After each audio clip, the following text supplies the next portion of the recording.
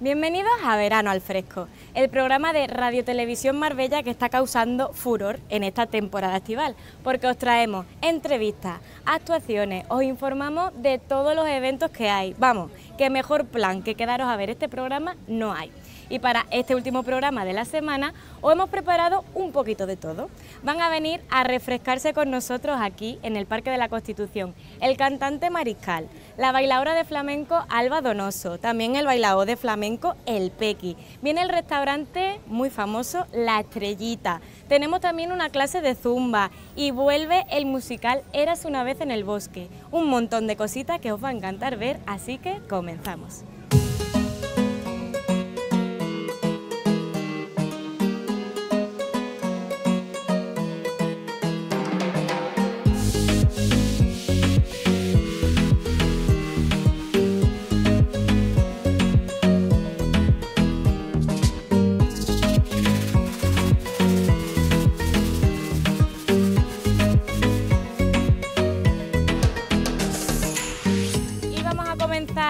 La mejor forma que sabemos y que nos gusta, que es con mucho arte. Tenemos preparado a nuestro primer artista, que es Mariscal, así que adelante.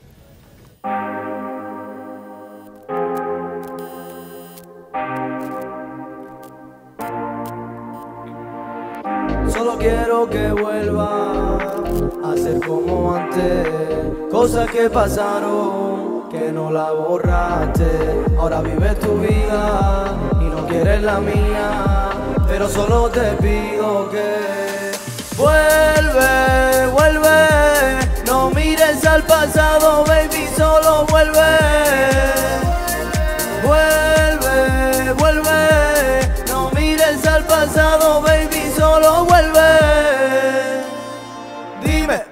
beba, lo que beba, no te fallaré aunque tenga mil problemas a mí. Sabes que tú eres para mí, de la noche a la mañana lo hacemos fácil. Lo difícil lo hacemos fácil y lo fácil no lo queremos. Pero baby, tú ya lo sabes que nos vamos pasando Y el juego de la llama, el juego del amor. Tú te me pones loca con esta canción. Yo soy tu favorito, el nene ya llegó. Ponme la canción.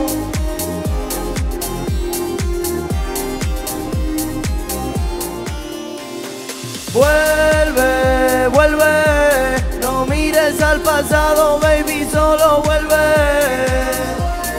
Vuelve, vuelve, no mires al pasado, baby, solo vuelve. Sabe que me vuelve loco, que me como el coco y yo me desenfoco cuando mira. Cada vez que yo te toco, sé que te provoco, sabes que tampoco son mentiras. Mamá, ya me imaginé que era pa' mí nada más. Me encanta cuando habla con autoridad. De la forma que me mira me pongo a temblar.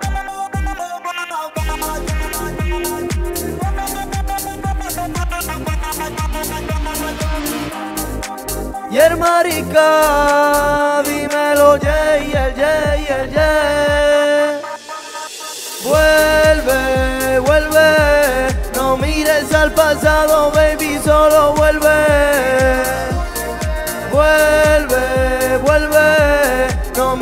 al pasado, baby, solo vuelve.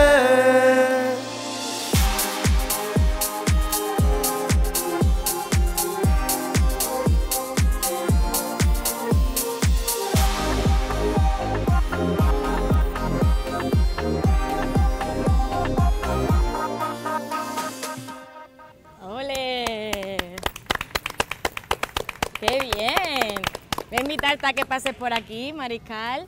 Estamos ante un cantante que, dentro de poco, vamos, y no dentro de poco, es que ya, porque es que tiene canciones con más de 50.000 visitas en YouTube. Viene hasta acompañado con su manager y su productor. O sea, Mariscal, lo que te queda por venir es enorme. Voy a hablar primero con vosotros mientras que microfonan a Mariscal. ¿Cuánto tiempo se tarda en elaborar una canción como esta? ¿Cómo vuelve? Pues a ver, depende también del proyecto que tengamos enfocado o de la idea que tenga él en mente. Pues él, por ejemplo, depende el, estilo musical, pues suele hacer trap o drill, también con su, con su toque flamencado siempre, ¿sabes? Su esencia.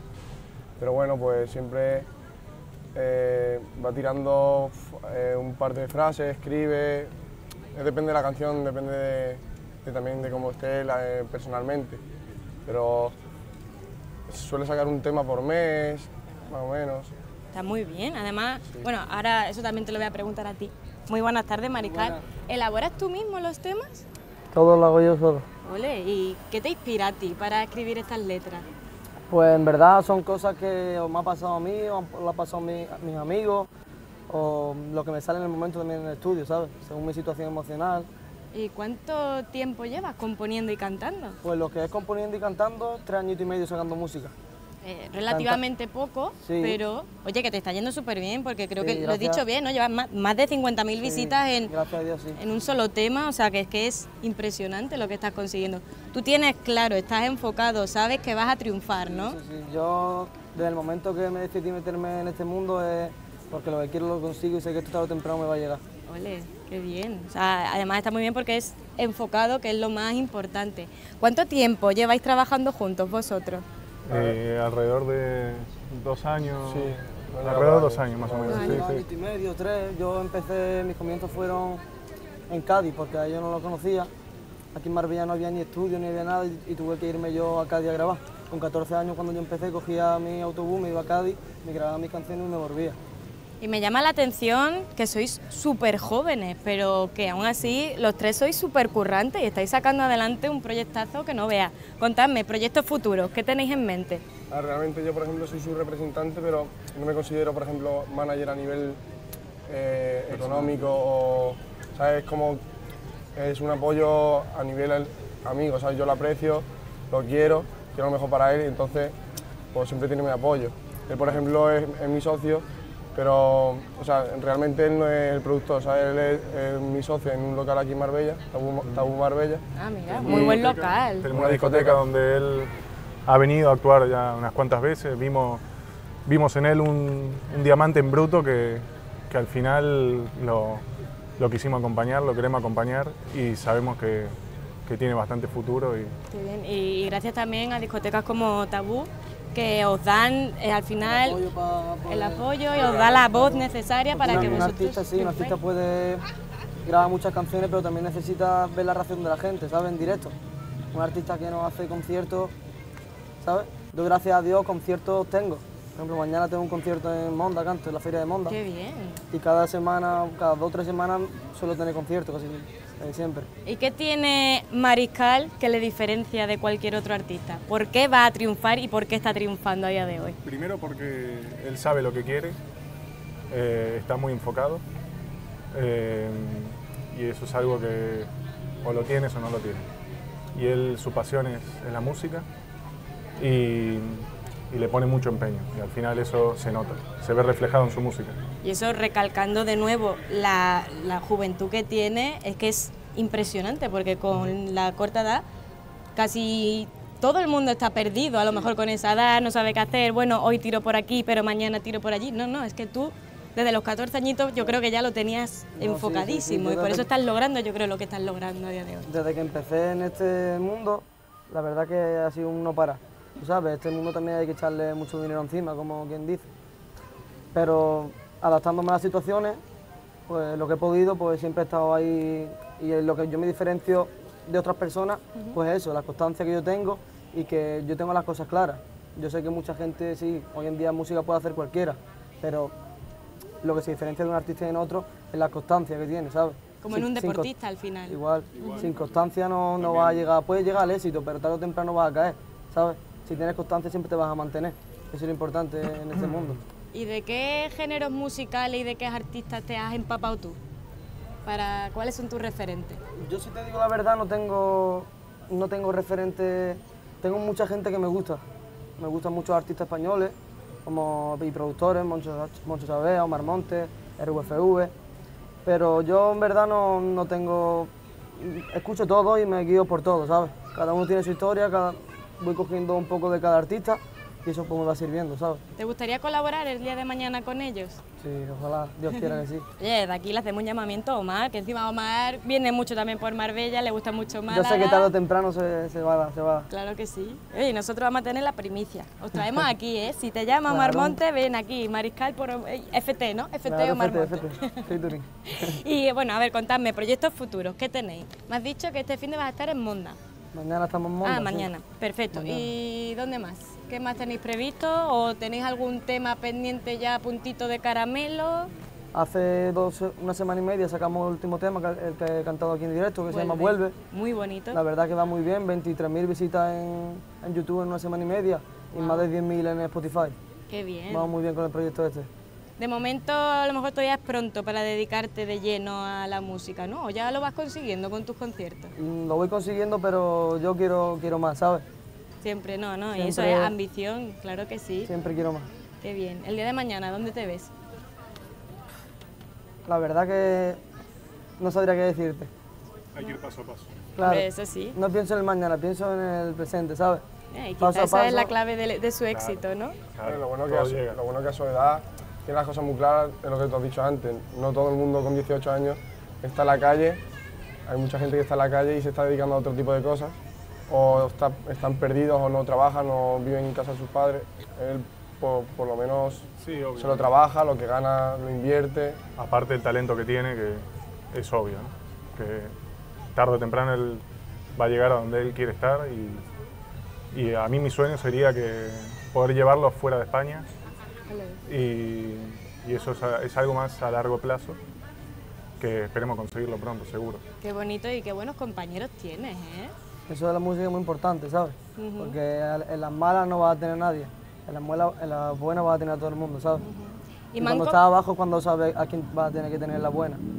Y tienes claro que ellos te van a, a estar impulsando cuando Ellos siempre están conmigo y a piñón. Qué bien. Y me han comentado también que eh, compone muchas veces incluso dos temas a- al mes o más. Sí, claro. O sea, que, que está muy bien, es una racha muy buena. Cuando tú tienes un bloqueo de no saber cómo componer, un bloqueo artístico, ¿cómo lo superas? Pues... ¿Ha, ha eso- llegado, el- ha llegado sí, ese...? ha llegado, ha sí? llegado ese momento. Tú sabes, los artistas no siempre tienen su día. Yo muchas veces subo al estudio, a veces me salen cosas, a veces no. Pero bueno, lo importante siempre es buscar salida, ¿sabes? Tú tienes que buscar salida. Si ese día no te sale, pues desconectar un poco y al día siguiente volver, ¿sabes? Yo si en ese día no me sale algo, pues me olvido y ya al día siguiente será, será otra cosa. ¿Has tenido algún parón tú de decir, uff, No, no, no? gracias a Dios, ni, qui- ni quiero pensarlo. Para mí tener un parón eh, es arruinar tu carrera. volver hacia atrás. Claro, da un paso grande hacia atrás. Y un dato muy bonito que no has comentado, pero que me parece muy bonito, es que también quieres triunfar para ayudar a tu familia. Que es que eso me, me parece precioso y yo creo que es lo, lo mejor y por lo que de verdad deberías triunfar.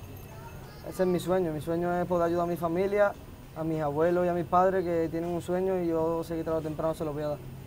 Qué bonito.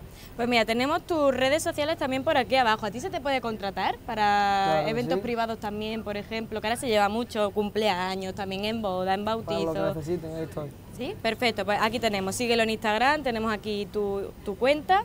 Perfecto, para todo aquel interesado y además también para escuchar los temitas, que en Instagram los tendrás también, ¿no? También en todo. Genial. Instagram, TikTok, Spotify, todas las plataformas digitales. Ahí le echáis un ojo, escucháis los pedazos de temas que tiene como el de Vuelve que nos ha cantado ahora y, y disfrutáis de un artista como la copa de un pino. Muchísimas gracias, Mariscal. ¿Quieres Gracias. comentar algo más? Gracias a vosotros siempre. Eso. Sí, por, por último decir a todos los chavales que estén empezando en esto, ¿vale? Que nunca dejéis de luchar, que tarde o temprano los sueños se consiguen, ¿vale? Tarde o temprano se consiguen, lo único que hay que tener es mucha constancia, mucho trabajo y mucha humildad.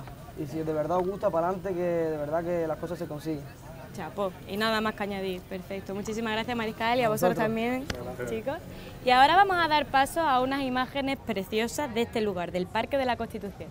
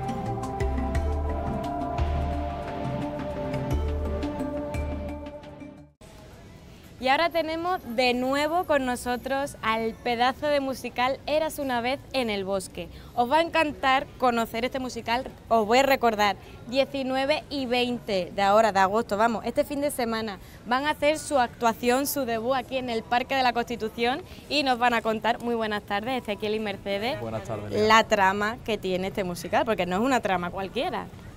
La verdad que tiene una trama muy divertida, eh, una mezcla de personajes brutal que mezclan todos los cuentos de los hermanos Grimm y, y la da de una forma muy divertida, diferente, diferente a lo que estamos acostumbrados, ¿no? de, de esa oscuridad de los hermanos Grimm a algo súper divertido, súper musical y, y lleno de magia, que a los niños y a los adultos les va, les va a encantar. Qué bien, musical. entonces se reúnen pues personajes icónicos que hemos conocido siempre de esos cuentos en un bosque.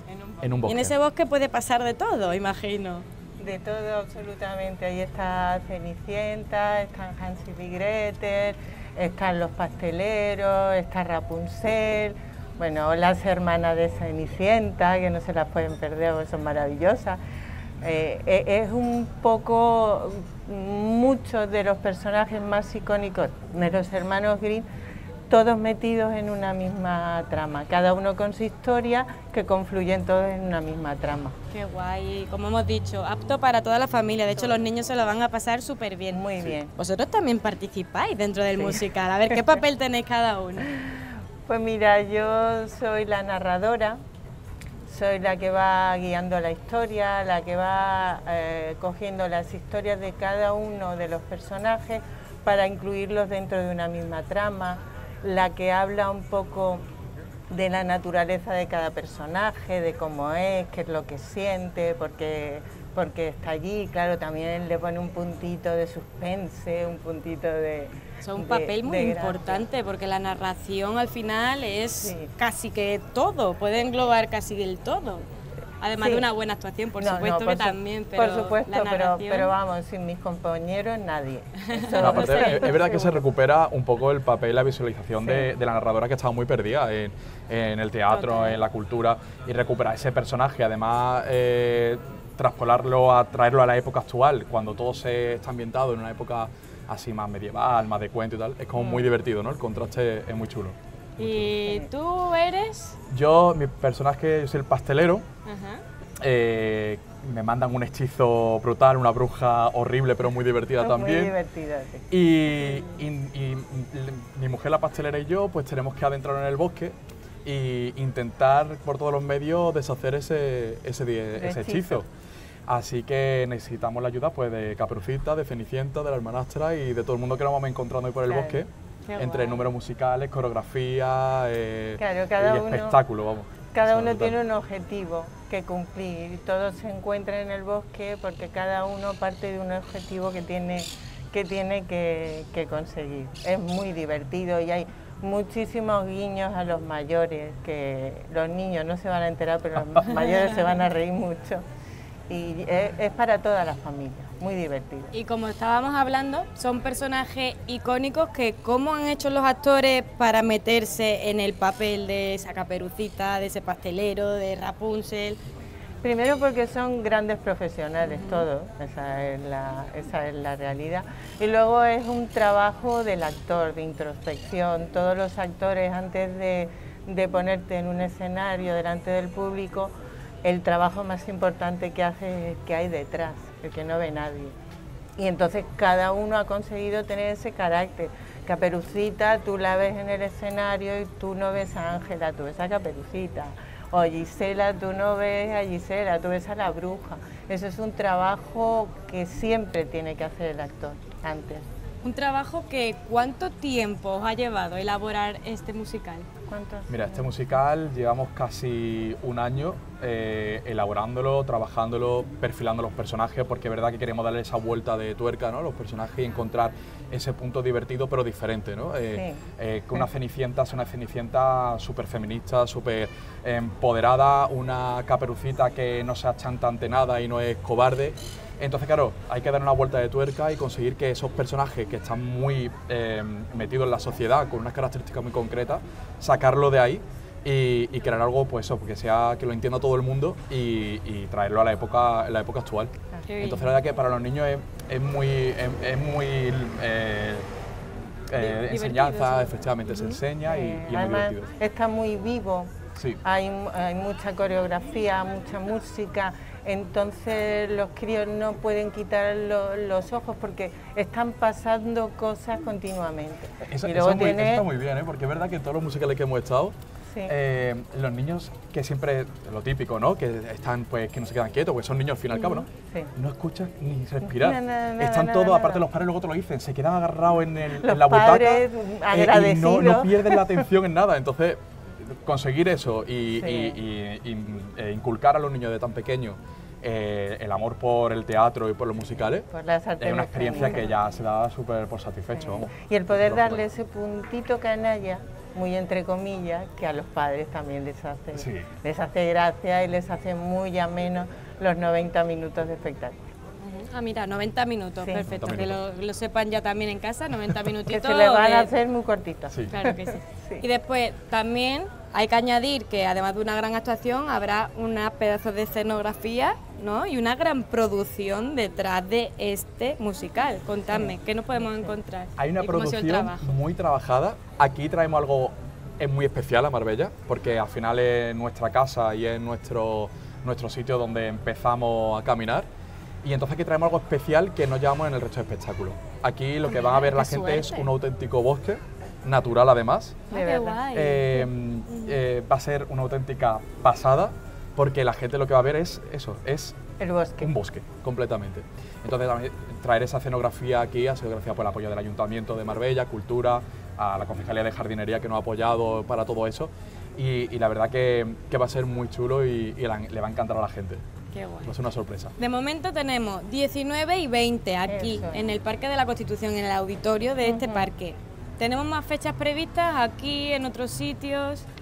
Pues mira, estamos Pero- en octubre, en septiembre estamos por aquí cerca también a finales de septiembre por, por Almería, estamos luego en octubre por Cádiz también, eh, también nos espera un poquito de Murcia, tanto Águilas como, como Villa del Molino, o sea que tenemos varias ciudades ahí y, y cerrando muchas más fechas para, para lo que queda de año y el año que Valencia viene. también Valencia también. Sevilla también, Granada también tenemos previsto cerrar. O sea que, aparte es un musical que, que cuando tú lo presentas, a la gente le gusta porque es algo diferente también. Se, se aleja de los clásicos musicales y eso también hace que la gente quiera tenerlo en, en sus ciudades. Además, ¿sabes qué pasa? Cuando terminamos también eh, nos gusta bajar con los niños para que se puedan hacer fotos con Cenicienta, con Caperucita y eso les encanta, ver la carita de ellos. Cuando ven a su personaje cerca y se pueden hacer una foto con él, eso no tiene precio, la verdad. Total.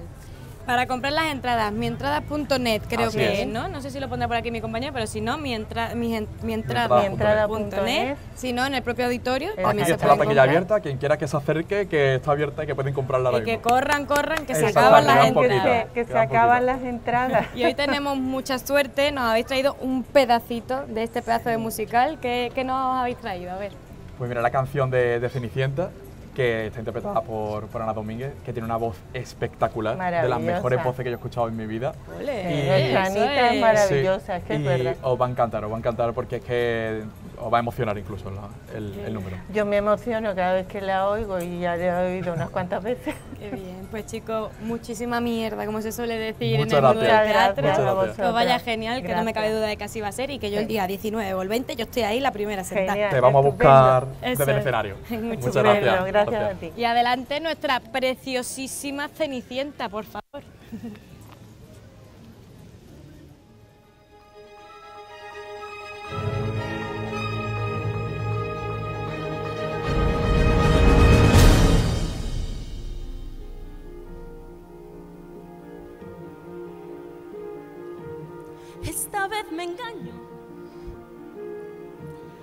Aprendió la lección.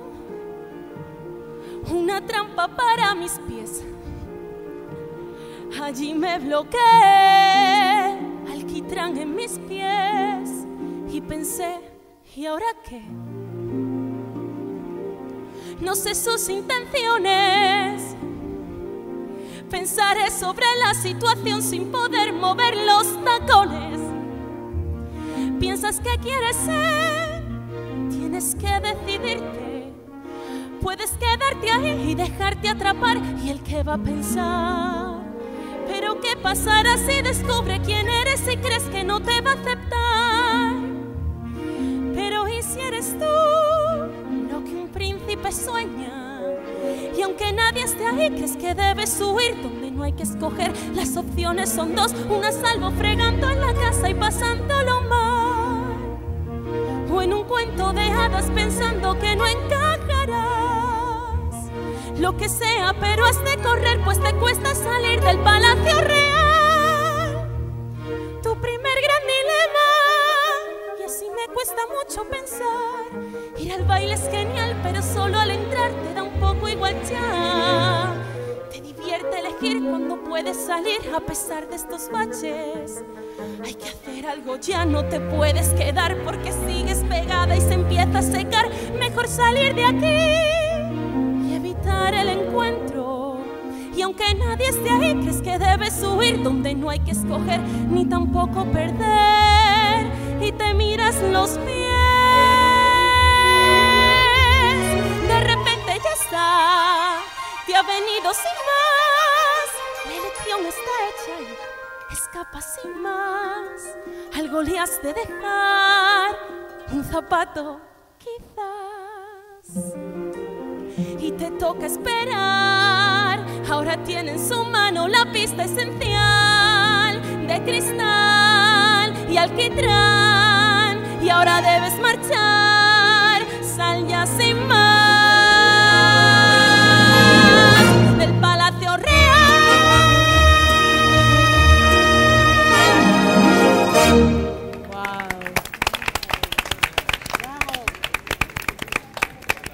Qué pasada, los pelos de punta, tal y como me habían prometido Ezequiel y Mercedes. Sí, sí, está- no, no, pero de punta. Encima, esas palomas, es que hija mía, qué bozarrón tiene. Y esto es tan solo un pequeño mm, fragmento de lo que podéis ver en este musical 19-20 de agosto, aquí en el auditorio del Parque de la Constitución. No digo más. Y ahora nos vamos a publicidad, pero a la vuelta tenemos muchísimas más actuaciones y muchísimas más cositas. Así que quedaros ahí, no levantéis el culo del sofá, quedaros ahí.